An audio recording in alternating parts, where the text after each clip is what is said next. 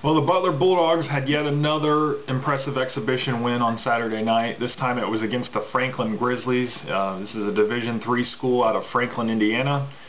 And uh, Butler came out and played with a lot of energy and came out and played very well to start the game. Unlike the first exhibition game, it kind of came out a little, you know, cold and um, just a little sluggish getting back into the thick of things. But this this game was a lot different. Butler jumped out to a 53 to 16 lead at halftime. Uh, got the lead up to 62 points in the second half before uh, you know all the bench players started coming in, and then it ended up being 98 to 43 as the final score. Um, great games by a lot of uh, different players here. You know, we've got Roosevelt Jones came in. He had four points on two of four shooting. Great game by Kameron Woods. He's shooting lights out right now. He was 100% in the first game. In this game, 8 of 9 for 18 points. Andrew Chrabascz was 3 of 4 for 6 points. Alex Barlow, 1 of 2 for 2 points. He had a shot from behind the three-point line, which he missed. Um, Kellen Dunham, better shooting this time around, 4 of 5 from the field, 2 of 3 from behind the arc, for a total of 14 points. Austin Etherington, 1 of 3, 0 of 2 behind the three-point line for 4 points.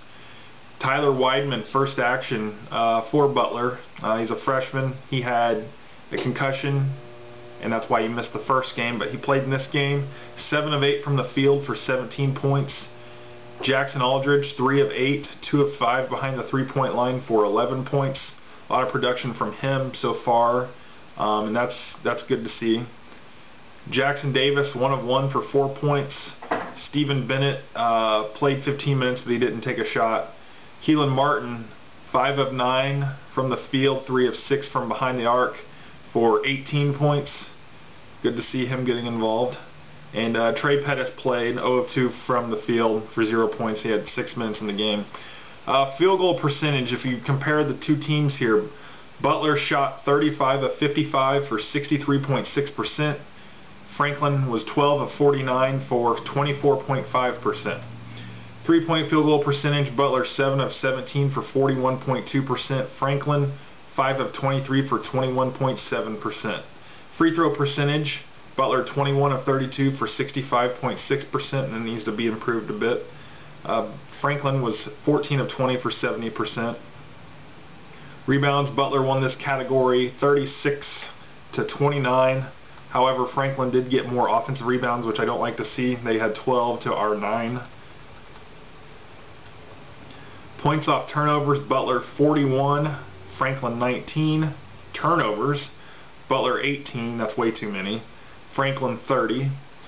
Second chance points, Butler wins this category 13 to 4. Fast break points, Butler whoops them in this category 15 to nothing. And uh, it was uh, it was just an overall impressive game. Butler had eight blocks in this game to the Franklin's one. Uh, Jackson Davis had the most blocks with three, and that's good to see. Fouls was pretty even. Butler had 26, they had 27. So Butler's just been what's looking what it's looking like is Butler's just shooting lights out right now, and uh, obviously they're playing non-Division One schools because these are exhibition games. So that's you know it's not that impressive, but it's impressive in the fact that it's better than what they played in their exhibition games last year, and. Uh, I think that this could carry over a bit. Obviously, those percentages are going to go down once they start playing Division One teams and conference opponents for sure.